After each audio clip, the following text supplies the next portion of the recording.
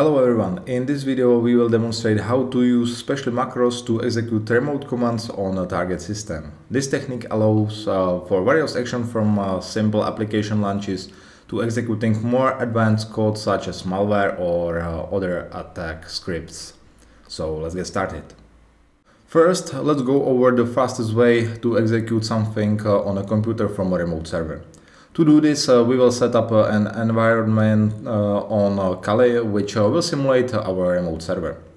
We will start uh, the Apache, navigate to the necessary folder, and create a file, for example, commands.html. Here we will enter our commands.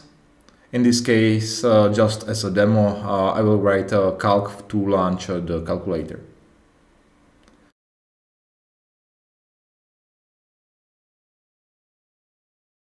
When we switch uh, back to Windows, uh, we can test it uh, right away.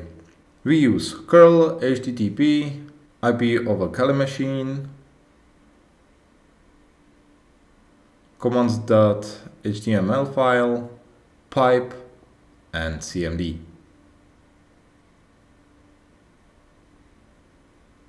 As you can see, the calculator has launched successfully. Now I will show you uh, what the macro for our document uh, will look like. If you are interested in this, uh, the full video is now exclusively available on My Hero Hero. You can find the link in the description. Don't hesitate and check it out.